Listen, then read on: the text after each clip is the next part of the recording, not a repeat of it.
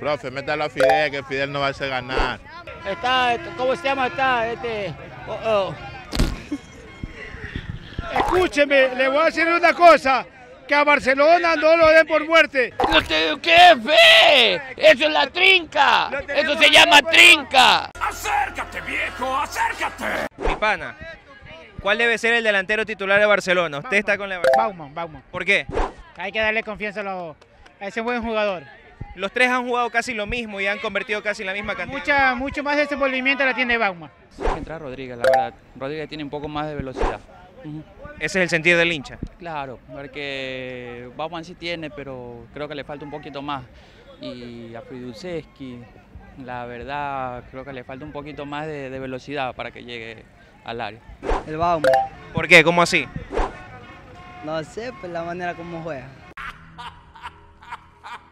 Para mí sería Rodríguez. Rodríguez es un buen elemento en el cual debería estar siempre con más empeño. Eso es lo que le falta, motivación al equipo. Lo puede hacer, sí, sería increíble.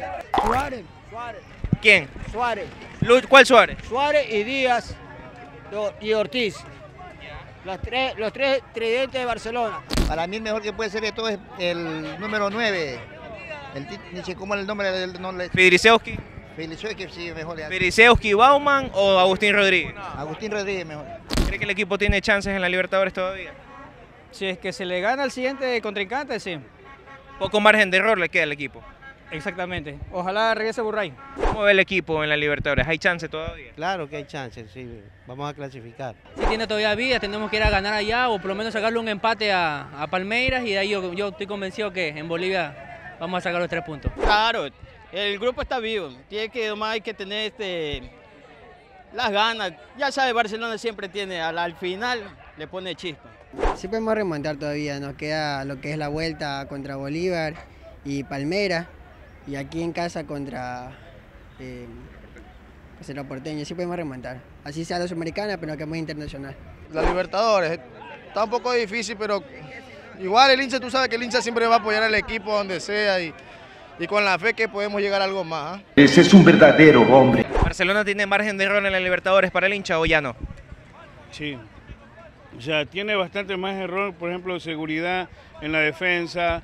Eh, siempre dependemos del arquero y creo que un equipo se complementa no solamente con el arquero, sino como que, como se llama, con un equipo es defensa delantero y el arquero, obviamente. En la final de 2020 con Liga nos daban por muerto que Liga nos goleaba y, y le dimos la vuelta olímpica. Y le, le rompimos el invicto el 15 de abril de 2023 con público. A Barcelona no lo den por muerto porque Barcelona juega mejor afuera que en casa. Y de allá clasificamos y las coquetas se van a la Serie B.